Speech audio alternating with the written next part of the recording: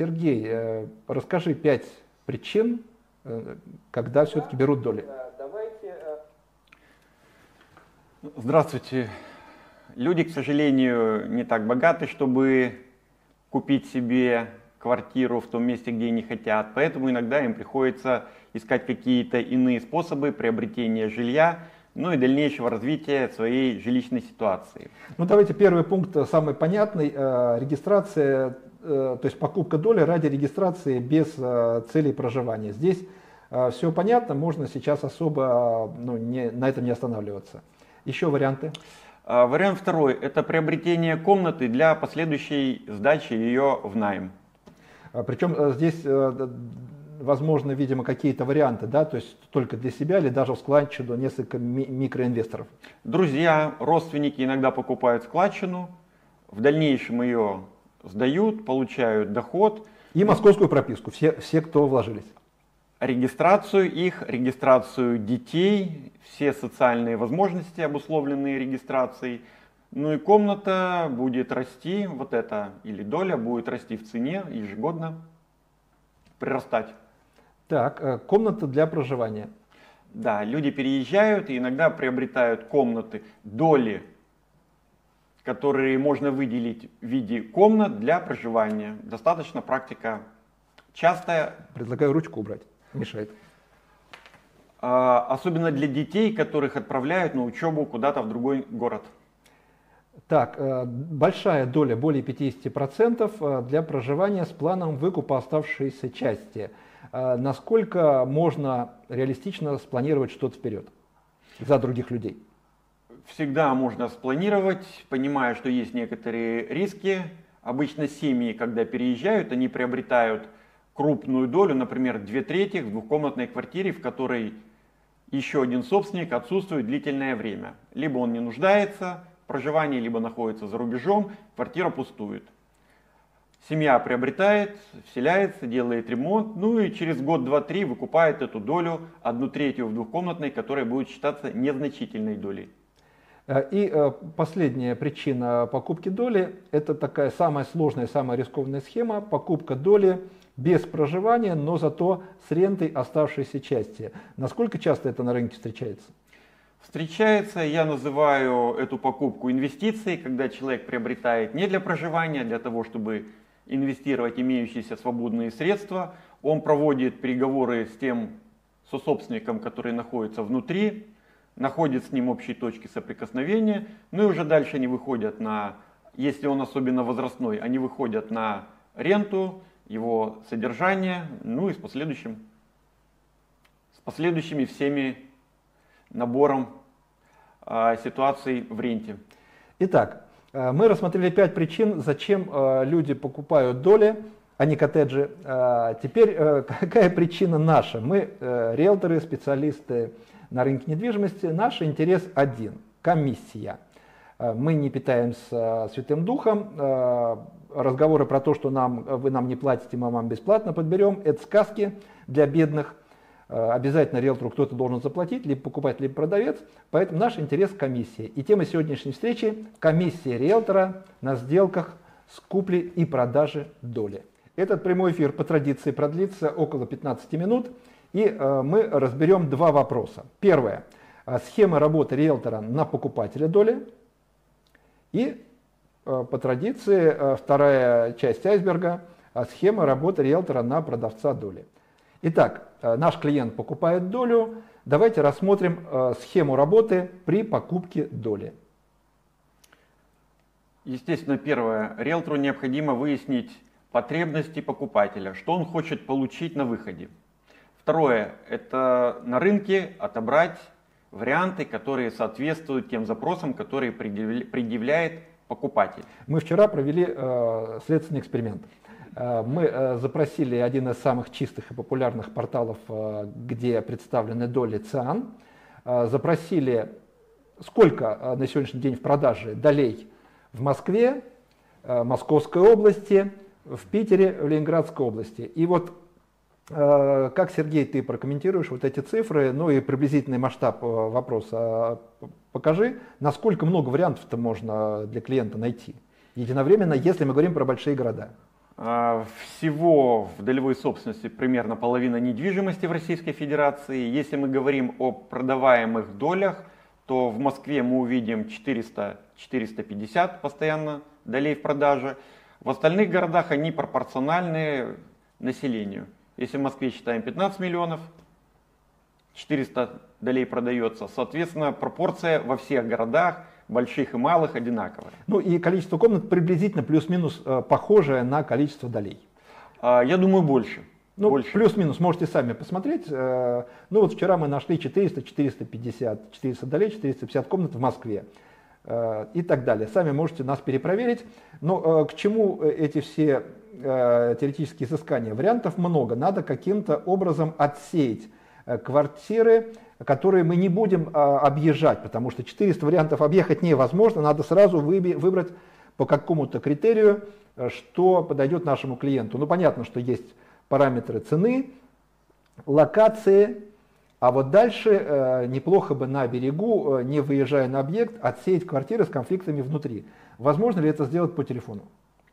Да, конечно, возможно. Как правило, на телефонные звонки отвечает либо собственник, сособственник, либо риэлтор. И задавая достаточно э, последовательный набор вопросов, можно определить, что там происходит, и можно ли эту квартиру или эту долю рассматривать для дальнейшего приобретения. А, следующий этап а, – провести показы. Вот я работаю в основном последние годы в Сочи. Э, у меня есть э, предыдущий опыт работы в Москве, и сейчас я иногда в работу в Москве беру объекты. И вот сделки с долями в Москве у меня бывали редко, а э, сделки с долевой недвижимостью в Сочи часто, потому что в Сочи огромное количество жилых помещений, но это немножечко другое. Это юридические доли, а фактически это отдельные квартиры, просто с кривым статусом, не до квартиры.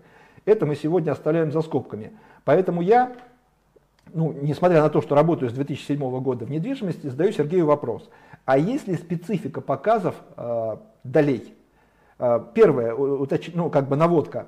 Нужно ли сначала самому посмотреть без э, клиента, а потом прийти с клиентом, или сразу знакомишься с этой долей вместе с клиентом? Я думаю, более профессионально будет сначала риэлтору самому посмотреть, составить свое представление и уже понимая, какие запросы у покупателя, можно будет под это дело проводить уже просмотры тех объектов, которые, которые подходят. Ну, тогда провокационный вопрос. Э, продавцы, э, соседи э, в, в этой квартире, простите, соседи продавца, они понимают, что к ним подселится новый человек, а сейчас продавец, может, там уже не живет. И они заинтересованы показать, что все плохо-плохо, чтобы никто не купил. С этим как-то можно бороться? Мы исключаем доли, где существуют конфликты, где существует негатив. Мы ищем те доли, где вполне приемлемо проживать. Например, трехкомнатная квартира находится в собственности по одной трети. Все собственники сдают в найм свои комнаты, которые они определили себе для проживания. Вы покупаете третью комнату, имея одну треть, и спокойно заселяетесь в ту самую комнату для проживания, либо для сдачи ее в найм. Вот таким образом. Хорошо, э, следующий шаг. Э, ну, более-менее отобрали несколько вариантов, э, подходящих по параметрам. Опрос соседей внутри и снаружи. Вот в двух словах, какая специфика этой процедуры? Мы разговариваем с теми, кто внутри, какая ситуация, на каком основании кто владеет, что происходит, смотрим внешний вид квартиры и заходим на лестничной клетке к соседям. Они вам с удовольствием в вечернее время расскажут очень много про квартиру своих соседей. Что там происходит? Драки, приезд полиции или все тихо и спокойно? И э, завершающий этап э, предоплата, э, официальное уведомление о продаже соседей, э, это мы называем преимущественно право покупки, и сделка. Э, вот э, такая схема. А, давайте посмотрим теперь еще раз, а, какие бывают запросы покупателя, а, схема подбора доли, которую только что рассказали, и что здесь непонятно. Ну вот мне абсолютно понятно, что Первое, первый запрос покупателя, регистрация без проживания, это не риэлторский вопрос, мы это вычеркиваем. Риэлтору этим заниматься неинтересно и непрофессионально. А вот комната для аренды, комната для проживания, комната с каким-то дальнейшим планом выкупа хитрым либо у соседей, либо через ренту, это чисто риэлторские четыре вопроса, да, с этим понятно. Дальше смотрим справа. Схема подбора доли, истинные потребности покупателя. Да, это первый шаг э, в любой недвижимости. Пока не выяснили потребности, не начинаем работать. Э, отобрать все варианты по цене и по локации – это стандартная процедура. А дальше пошли вот достаточно такие вот специфические вопросы. Отсеять квартиры с конфликтами, давайте я другим цветом даже обозначу. Э, провести показы не так, как мы показываем отдельную квартиру – и провести опрос соседей внутри и снаружи тоже есть хитрости. Дальше. А, предоплата, преимущественное право покупки и сделки. Вот преимущественное право покупки – это тоже специфическая вещь, есть нюансы, а, здесь нужно наводить резкость, разбираться. Теперь, внимание, вопрос тем, кто смотрит в прямом эфире и тем, кто а, будет смотреть записи. Напишите, пожалуйста, сейчас вот в чатике, все ли понятно. Или э, вам было бы интересно, чтобы мы навели резкость на какой-то из вопросов, представленных сейчас на экране. Э, вот э, лично мне не совсем понятны вот эти вот белые вкрапления, о чем я уже говорил. Вот лично мне это однозначно полезно знать, поскольку с долевой недвижимостью вот в, в контексте покупки доли у меня сделки очень редкие. Сергей Попов адвокат э, по сделкам с долевой недвижимостью. Я Сергей Прокопьев, руководитель онлайн-школы «Видеокнига ТВ» и практикующий риэлтор э, в Сочи и в Москве. Итак, если вам что-то непонятно, пишите в чатике, мы его посмотрим и ответим э, голосом, если в прямом эфире будут вопросы, и письменно, если ваши вопросы уже, когда мы выйдем из эфира. Теперь мы работаем на продавца, схема продажи доли, действия риэлтора.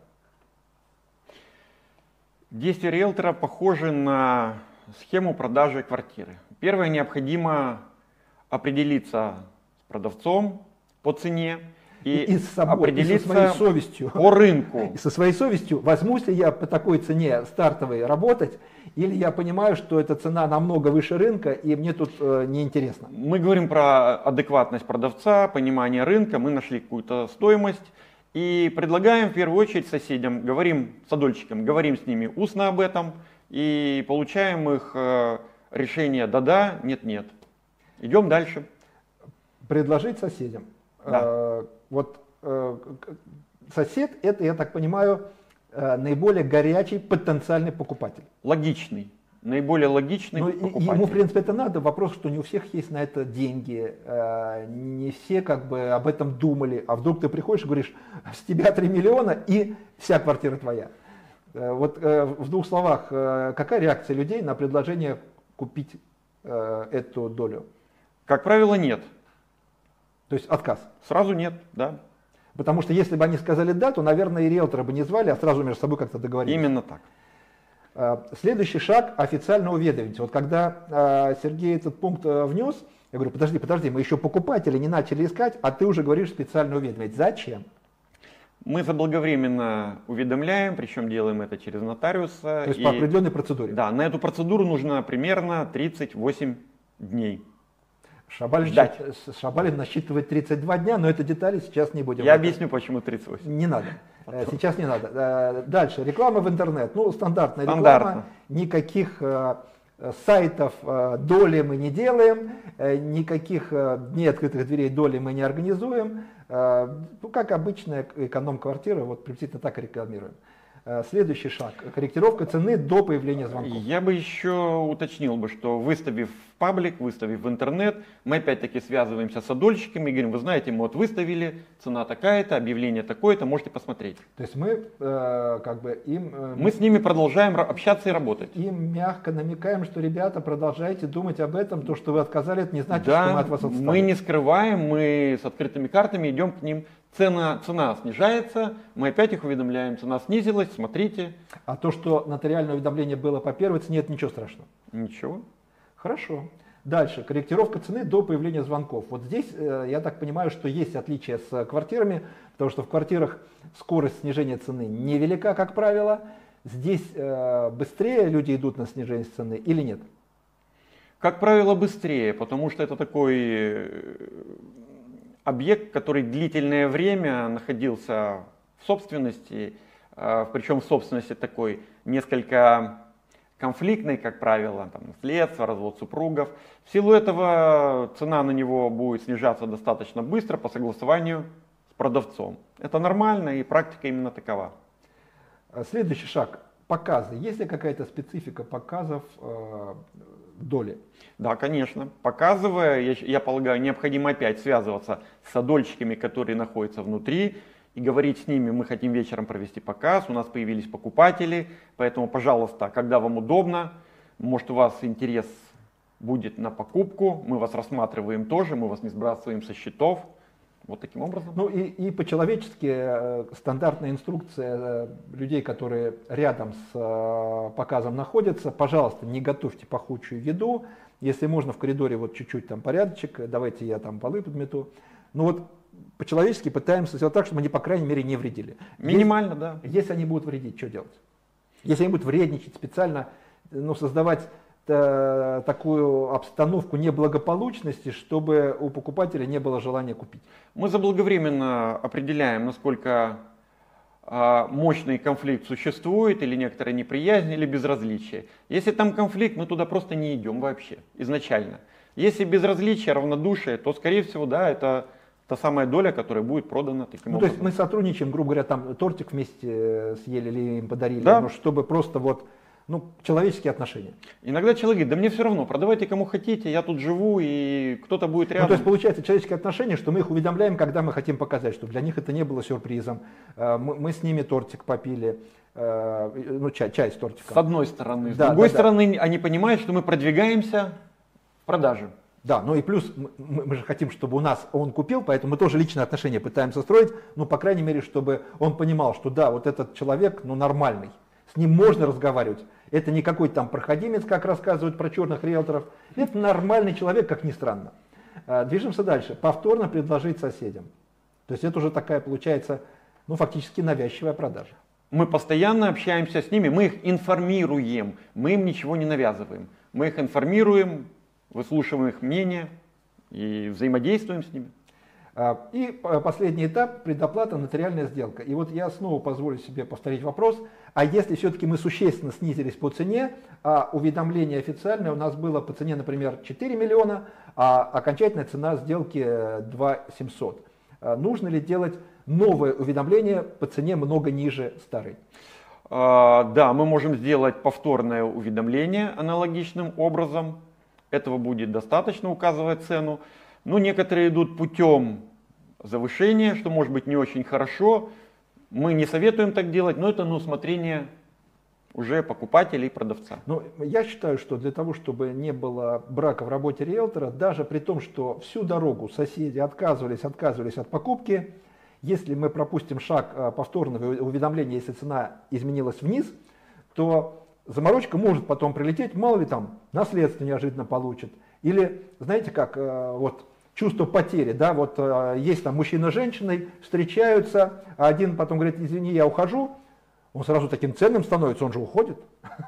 Здесь то же самое. Упустили долю и потом дошло, блин, а мы могли бы потом эту, э, как целую квартиру продать дороже и переехать в новый дом. Или кто-то им потом это скажет.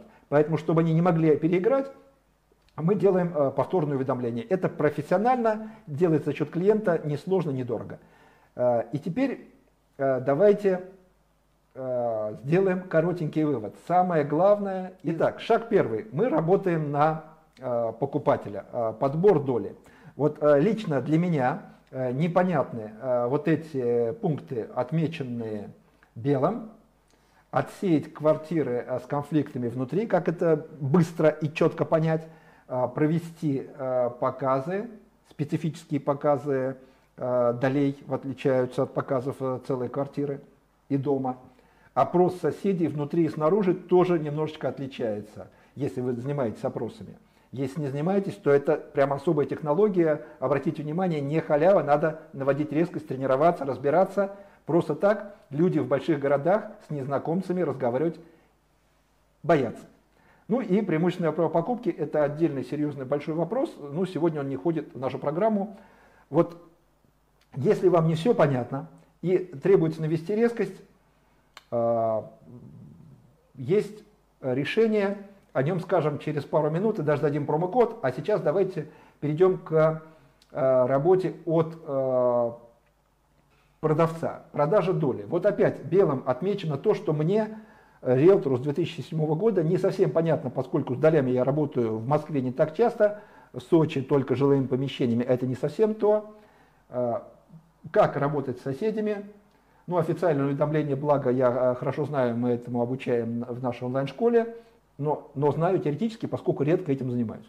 И специфические показы, повторная а, работа с соседями, это тоже мне не совсем понятно. Вопрос Сергею какая специфика э, работы модератором э, при таких сделках риэлтора? Модератором вот этих переговоров покупатель-продавец. Все зависит от того, какова ситуация внутри. Мы говорим об этом. Задача э, состоит в том, что необходимо являться некоторым переговорщиком, модератором между судольщиками, которые находятся внутри который один продает, второй не хочет покупать. И вот здесь коммуникация позволяет согласовать покупку именно внутри садольщиками, помочь им это сделать, а, разложить им ситуацию, дать им понимание дополнительное. И достаточно часто садольщики выкупают сами. Это логично, и на самом деле для этого есть масса инструментов сегодня. Ну что, до свидания. Увидимся на обучении в онлайн-школе Видеокнига ТВ. Пока.